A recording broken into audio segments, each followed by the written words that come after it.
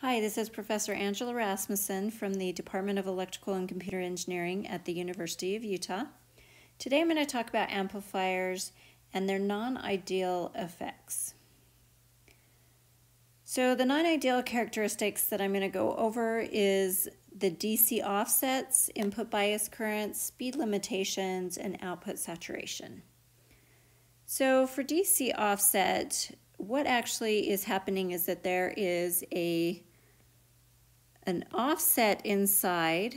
So when I do apply zero volts to both of these inputs, I expect to have zero volts out. What I see is an actual shift. So instead of being at zero volts for my zero volts in, my output graph will actually be shifted. And so it will look something like this, where it's actually shifted by an amount. How to compensate for that is that on the chip itself, you're going to have these offset null options. And so depending on which chip you have, these this offset can be used to um, trim basically so that when you do have zero volts on both inputs, you get zero volts out. So usually put a potentiometer between those and then adjust them to, to the point where you see zero volts out. So this is the best way to compensate if that is a um, factor for your design is to pick an op amp that actually has these offset null um, internally made. Uh, one note is that these two graphs were taken from um, this link, so thank you. So I want to look at um, the actual values of what those shifts will be. So a lot of times in data sheets, they're going to give you a range of values for a specific parameter. So for example, the input offset voltage may be given a typical value and a max value, or you'll be given a min value and a typical value. So you want to always pick the worst case values. So for input offset voltage, if I was to use amp 2 here, so this column, I'm going to have 4 and 5 millivolts offset. So I want to pick um, the worst case scenario, and in this case it would be the one with the most offset. So we would use 5. And how we're going to calculate this is that as seen here, this looks like it's on the positive input terminal. So it looks like an actual signal on that positive input terminal, terminal which is always going to look like a non-inverting gain. So no matter what configuration you actually are calculating this for, you're going to amplify this input offset voltage by the non-inverting gain factor. So in this case, a non-inverting gain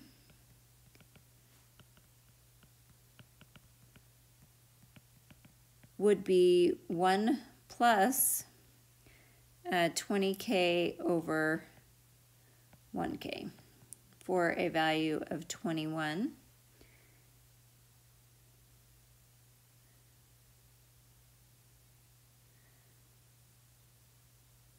And so my offset is actually going to be the worst case scenario of 5 milli times 21.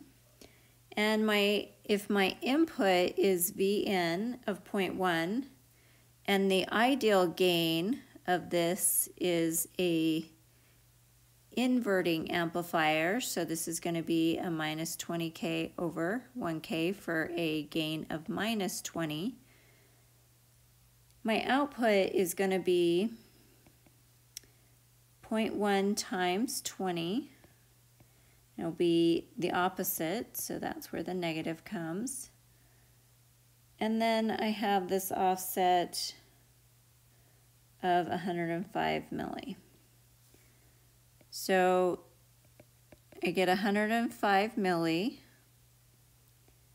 minus 2 sine omega t.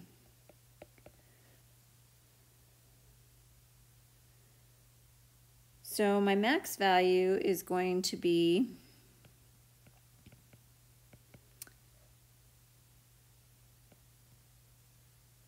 two point one oh five, and then my min value is going to be this um, a minus 1.895. So those would be my ranges that I'm going to see due to that voltage offset. So the next um, non-ideal effect is called the input bias current. So the input bias current has inputs internally that we also don't want. These are due to the draw from the bipolar transistors at the base. Remember that there is some current that's being drawn, although we don't always want it to be that way. So some of these um, op amps have that. So what you want to do for the input bias current is that you can compensate depending on what your configuration is is that you want to have an equivalent resistance so that when you're looking at the voltages that you have the same current that's being calculated for the same current times the resistance. So what you typically do is that you're going to look at this node and the equivalent resistance with these were all grounded. This is R1 and R2 is to put a value for R3 equal to the equivalent on the other terminal which is R1 in parallel with R2. So what we want to do is modify this circuit um, to minimize the effect of the input bias current. And so what we want to do is add a resistor here so that the whole equivalent resistance on this side is equal to the equivalence on that side. So we can see that that's going to be 20K in parallel with 1K. But we already have this 100 ohm um, resistor here. So we're going to put this value at 20K in parallel with 1K minus 100. And so that gives us a value of 852 ohms. So we're going to put an 852 ohm resistor here, and the equivalent of that adds up to be 952 ohms, which is what is seen at this node. And so that's going to minimize the input bias current. The other factors that we have is due to speed limitations, and there's going to be two that you have to consider. One is due to the finite bandwidth internally to this, and the other is due to your output um, based on your input, and that's called the slew rate. And so we need to calculate both of these, whichever one due to your situation is going to be the lowest is going to be the worst case scenario. And so that's what's going to limit your frequency range. So what happens in every op amp is that it is created so that it has an internal roll off of a minus 20 dB per decade drop. I didn't draw that very well, but um, that will give you a single pole. And so this is called an internally compensated operational amplifier when it has this single pole output. And most are actually created this way because they create stability when you connect them in a negative feedback configuration. So this would be the transfer function for this. Um, and what happens is that as you get to this point down here, so this is going to be where it's going to curve. So I can call this whatever W I want. So this would be my break frequency. And this point here, when there it's at unity, is called the unity And so that's when I have 0 dB or 1 volt per volt. So unity frequency, you'll also see it as f of t or f of small t. And so what happens is that you have a, what you're going to find is that for any configuration you create, you're going to follow the same graph. And what you're going to find is that this frequency here is going to be based on your gain here. So if I have an increased gain, I notice that my roll off will always be the same and that this frequency will be less than the frequency for this omega. So if this is 2 and this is the gain of 2.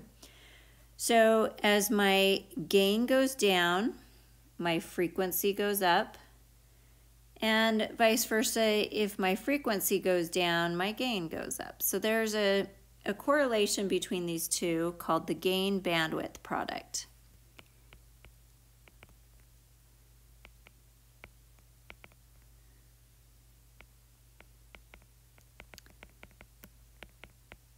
And what that is, is that it's the multiplication of the gain times your bandwidth. So remember this W2 and W1 are what gives you your bandwidth for this circuit. And so that gain bandwidth product is equal to this unity frequency. So you're going to see it as the gain bandwidth product or unity frequency. And so for accuracy, no matter what configuration you're going to put it in, it's always going to be in the inverting configuration. Sorry, non-inverting configuration. So, for example, this is an inverting amplifier which has a gain of the RF over RN what we're going to use for the gain here is going to actually be 1 plus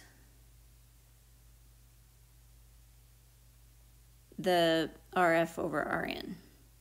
So as an example, in this case we want to use amp 1.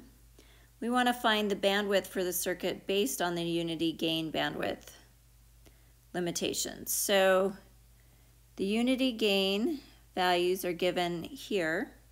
So in this case, it's 100.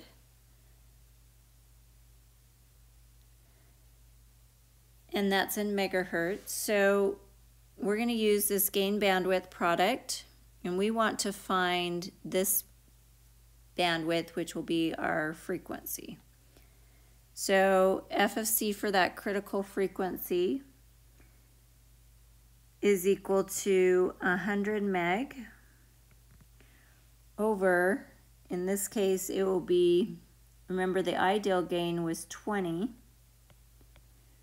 And so the non-inverting gain is going to be 21. So we're going to use that 21 for more accuracy, and that gives us 4.76 megahertz is our bandwidth.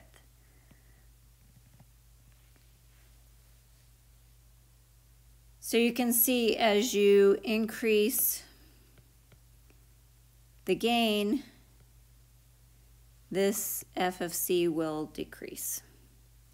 The other limitation is due to slew rate. And what slew rate is, is basically that the output isn't able to respond fast enough to your input. So it starts to look like this, where this would be your ideal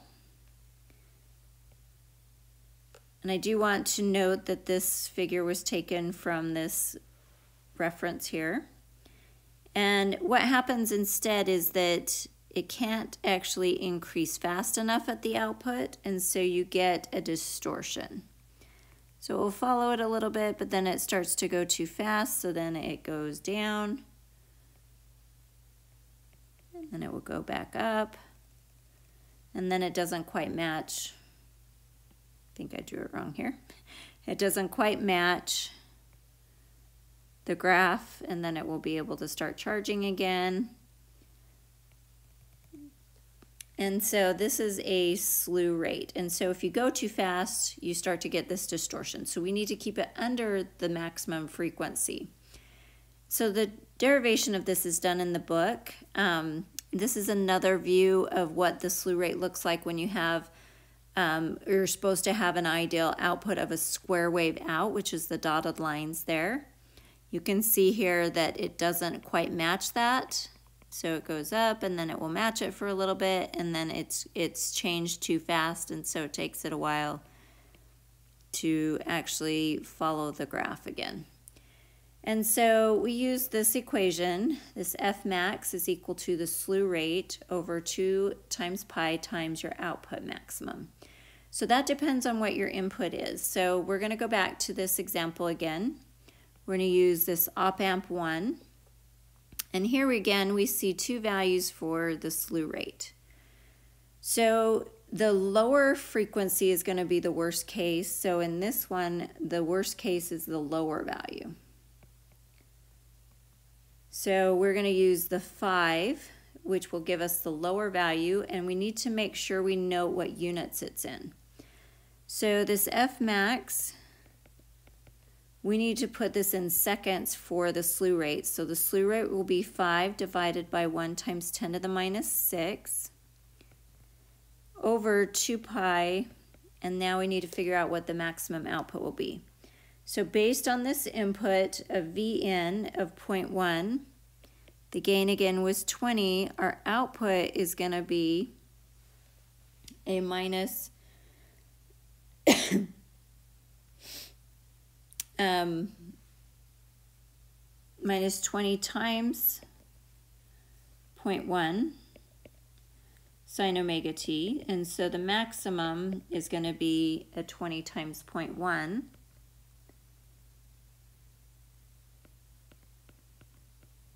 So that's going to be our output maximum.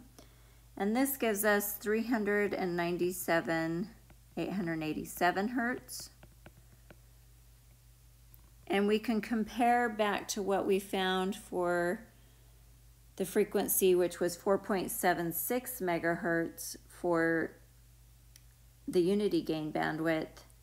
And so this is definitely going to be our more limiting range. So we would only be able to say that this circuit under these conditions can operate up to 397 or 98 kilohertz.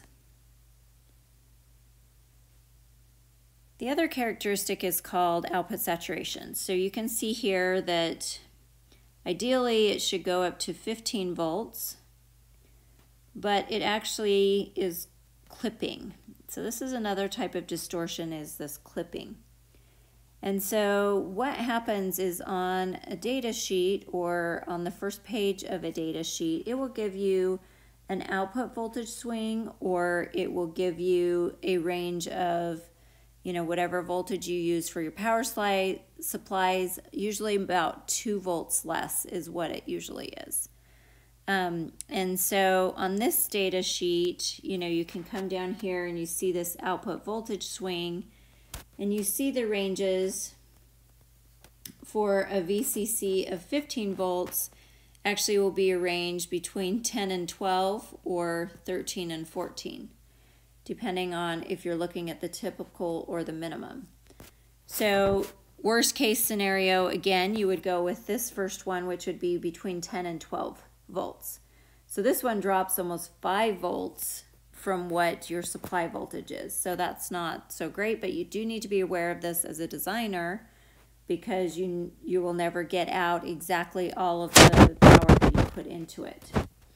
And so this is a something that you need to consider as a designer. I wanted to just show you some of these data sheets. Again, like here is your input offset voltage, and again, you have a typical value and a max value. Looking at the worst case, you would then pick this 6 millivolts as your worst case scenario for this.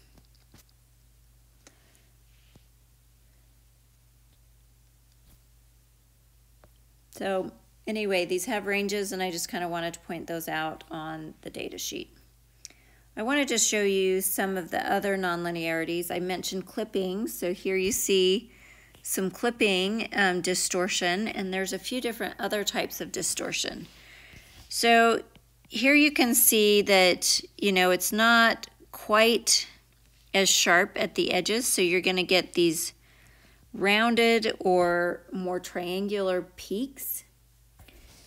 And so this is because you're getting too close to either your power supply or you're moving from saturation a little bit into the triode region for this MOSFET.